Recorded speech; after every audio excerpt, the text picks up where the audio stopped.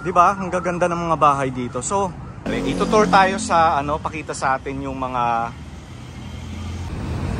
Ayan, so isa sa mga lumang simbahan dito sa ating bansa. Etong si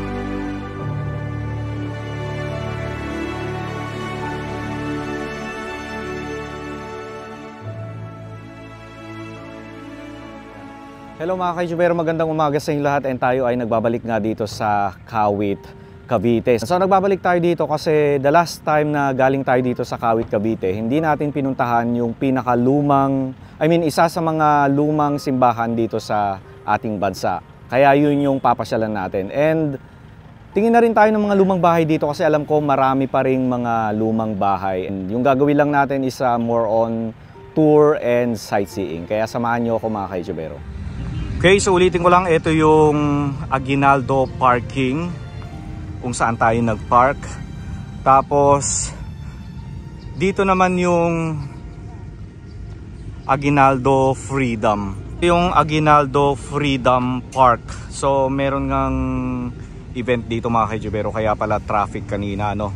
So ulitin ko lang, ito yung Aguinaldo, Emilio Aguinaldo Shrine kung saan tayo galing the last time. So na-feature na natin ito meron tayong dalawang video nito, may part 1 and part 2. So yung part 1 sa pinakasilong tayo nag-vlog and then yung part 2 naman sa mismong main house ng Emilio Aguinaldo Shrine. Alam niyo napakaganda ng bahay na ito kasi lahat ng kumbaga lahat ng mga materyales, lahat ng disenyo ng bahay na ito ay nagsasagisag sa ating bansang Pilipinas, ano. Kaya doon sa mga hindi pa nakakapunta rito, Ayan, pumunta kayo dito kasi talagang uh, napakaganda ng museum na ito, ano? Ayan.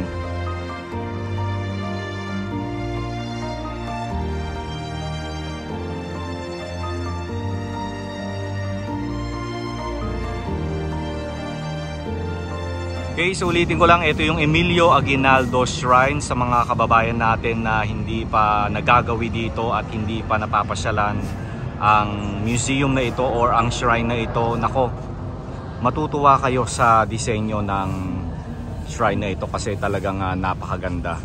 Ayan. So doon sa mga minamahal nating senior citizen na hindi na nakakapasyal o panoorin nyo na lang po yung vlog ko dito sa uh, museum na ito. Ilalagay ko na lang po yung link ng video dito sa description below para mapanood po ninyo. Ano? Ayan. So diretsuin lang natin ito and dito sa kahabaan ng kalye ng City Rona makakakita tayo ng mga lumang bahay ano? Ayan.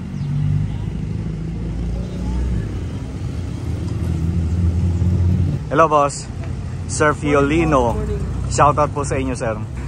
Sala salamat po. salamat welcome to uh, Kawit Cavite. Salamat po sir. Thank you. O diba ang babait ng mga kapulisan natin dito sa Kawit Cavite So diretso lang tayo ha dito sa street na to kasi yung simbahan ay nandun pa sa hindi naman dulon-dulo, mga kalagitnaan lang ayan.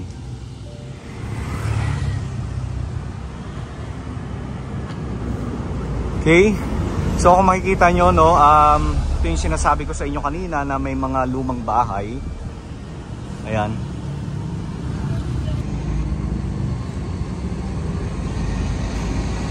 Okay, so ulitin ko lang yan yung Emilio Aguinaldo Shrine kung saan tayo galing.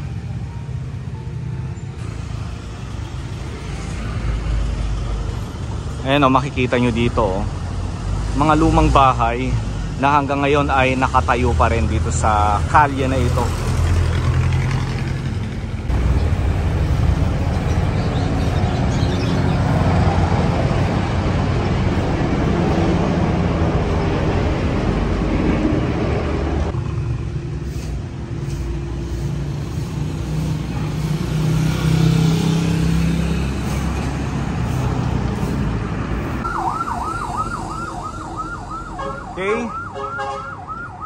Di ba? Ang gaganda ng mga bahay dito. So, hindi ko talaga ito napansin the last time kasi ang focus natin ay yung Emilio Aguinaldo Shrine.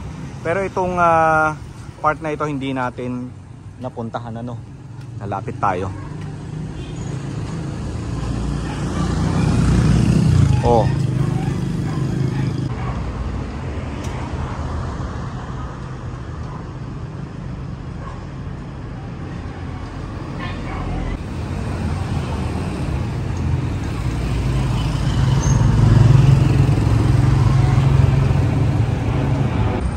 Okay.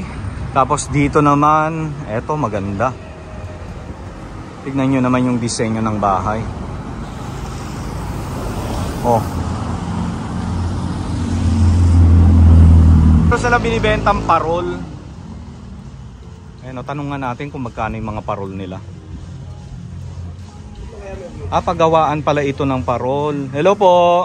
Nagbibenta sila ng mga parol dito. So, etong malalaki, 3,000 daw ito. Tapos ito naman 2,000 pesos. Ayan. Okay, pasok tayo nandito yung may-ari. Itutour tayo sa ano, pakita sa atin yung mga parol na ginagawa nila rito. Hello po. Pasok ako. So isama ko na rin po yung mga tinitinda yung parol. So sir, yung mga malalaking parol mo dito sa labas, 3,000 ito. Tapos ito po sir, 8,000 ito? Wow. Tapos itong mga maliliit, sir? Oh, 3,500. Ito, 3,000 din to. Oh. Gusto kong bumili nung ano, mamaya public ako kuya. Ito, oh. 2,000. 2,000. Sige, balikan ko yan. Isang, I mean, ito lang yung disenyo niya, no? Ay, parang maganda tong star, kuya. Parang maganda to, mga kaitsubero. Sir, ito po, magkano? Ah, mas mahal na ito. Siyempre, mas mahirap gawin eh dahil star. Ayan. Ayan, so dun sa mga magagawi dito sa Kawit Cavite, kung naghahanap kayo ng mga parol, mura lang yung mga parol nila no, na binibenta dito. So, pwede kayong tumingin ng inyong mga Christmas decor dito. No? Ayan. Ang ganda sir, magkano yung pinakamalaki mo na yon? Yun no? 7,000 ito. Oh, ito 7,000 oh. Etong mga pu- purong kapistuya. Ito 2.5 yung ano. Ito 2,500. Tapos ito 5. 5,000. Hmm. Worth it naman ano yung price nila. Kasi syempre ang hirap din kasing gumawa niyan. 'Di ba?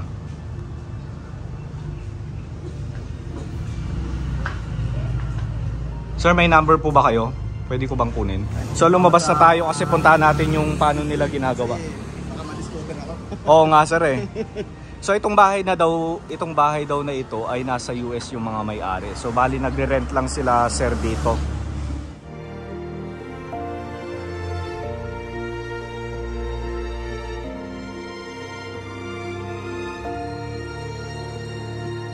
Ulitin lang natin ano yung may-ari ng bahay na ito ay wala dito sa Pilipinas. Ah, nasa ibang bansa daw. So si Kuya Bigote ang nagre-rent dito sa mismong pinakasilong ng bahay. So pagawaan ito ng parol. Ayan. Ayan, so doon sa mga interesado sa mga parol ni Kuya Bigote, lalagay ko na lang yung number dito sa screen para makontak nyo siya. And uh, ayan, balik tayo dito kasi bibili ako nung ano, ito. oh. Ayan, so ang bahay na ito ay pag-aari ni Mr. Joey Ginto. So ang mga Ginto family. Ayan, na nasa US. So sabi ni Kuya, itong bahay na ito ay almost 100 years old na. And uh, yung mga gamit ng bahay ay nasa taas. So walang nakatira sa taas, mga gamit lang, mga mga antik na kagamitan ng bahay na ito, no. Ayan. So another lumang bahay. Ayan.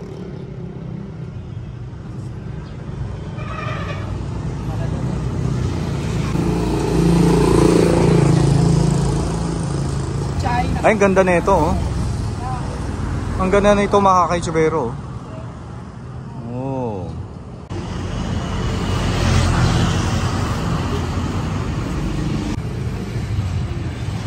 Ganda no mga kaitsubero. Buong buo yung bahay. 'Di ba? Sabi ko sa inyo eh, marami rin ditong mga lumang bahay eh. O wag nyo na pansinin yung mga spaghetti ha. Kasi wala na tayong magagawa dyan. Ayan.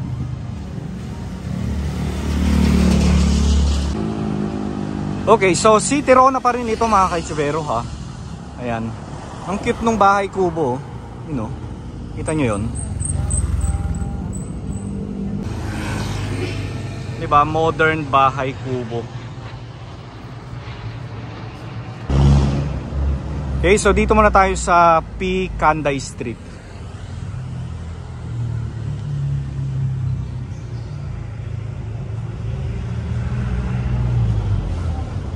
Ito, bagong restore din mga kaitsubero itong bahay na ito. Ayan o.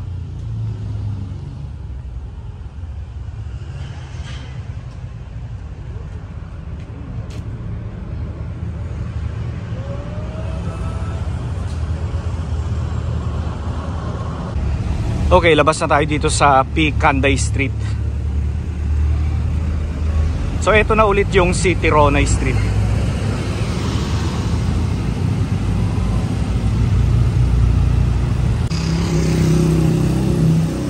St. Mary Magdalene School. So malapit na tayo sa simbahan. Actually, ito na pala siya. Ito na yung simbahan ng Kawit.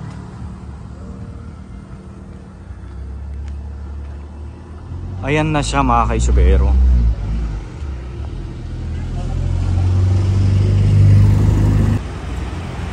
Okay, so nandito na tayo. Ayan, so isa sa mga lumang simbahan dito sa ating bansa. Etong simbahan dito sa Kawit, Cavite.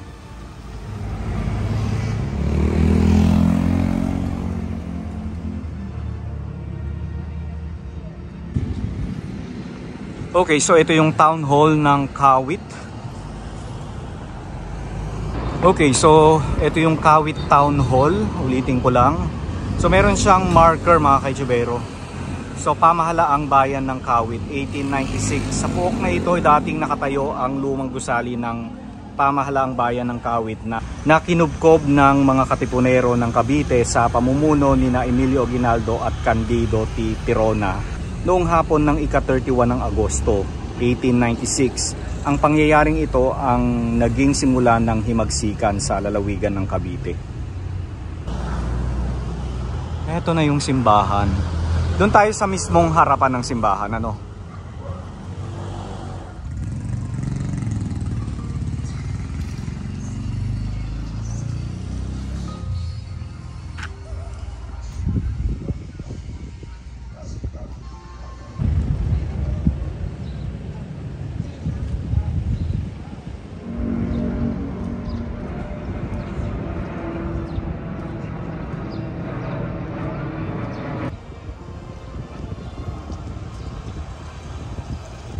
Ayan, so eto si Candido Tirona. So kaya pala si Tirona Highway yung dinaanan natin. So meron siyang ano rito, marker.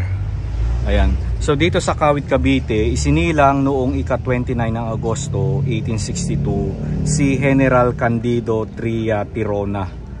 Ayan.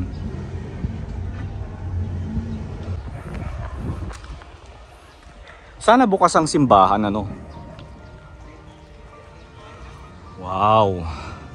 So ito yung sinasabi ko mga kaitsubero na talagang na-appreciate ko yung mga lumang simbahan na hindi masyadong pinaganda yung labas ng simbahan. Ayan. And uh, nakakatuwa kasi nakikita pa rin yung mga lumang brickstone ng simbahan na ito. Pero may mga parts na pinalitan na ano. Pero mostly ay original na brickstone ng lumang simbahan. Ayan. So dito sa simbahan na ito, bininyagan si Emilio Aguinaldo.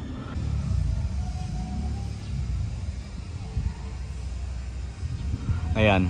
So na-appreciate ko naman lahat ng simbahan kahit na minodern na nila, na-appreciate ko pa rin. Pero mas na-appreciate ko yung mga ganito na yung ganitong itsura ng labas ng wall ng simbahan ano. Ayan.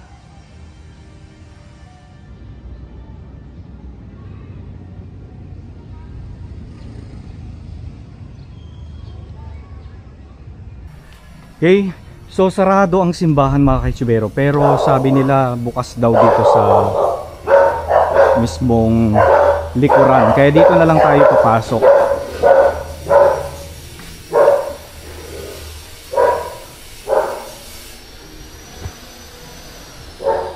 Di ba mga kaitsubero? Kita nyo yung brickstone. Makikita mong original siya. Ayan, bukas ang simbahan. Hindi pasok tayo.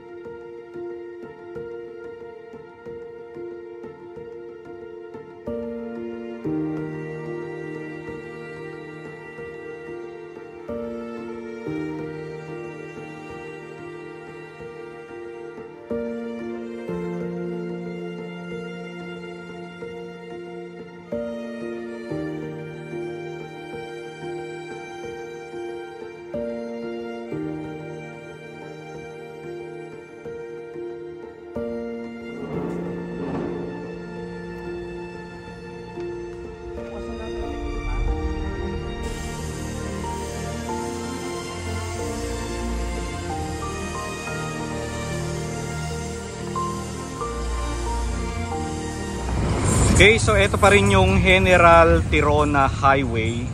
So diretso lang tayo dito mga kaitsubero. Lakad tayo doon.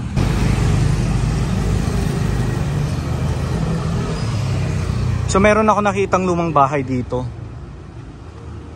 Ayun oh. Lapitan lang natin.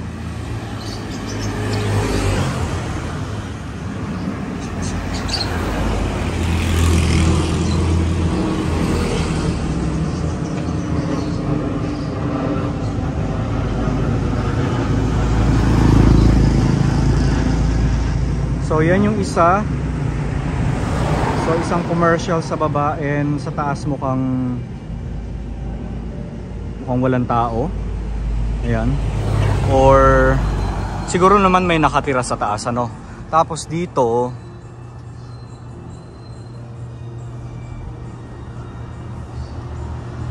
So isang commercial din ito.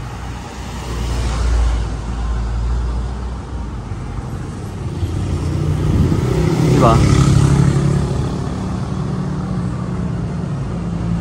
Ayan, commercial din. Pero makikita nyo, no, yung ah, mismong bahay, ay lumang bahay na ngayon ay isa ng commercial.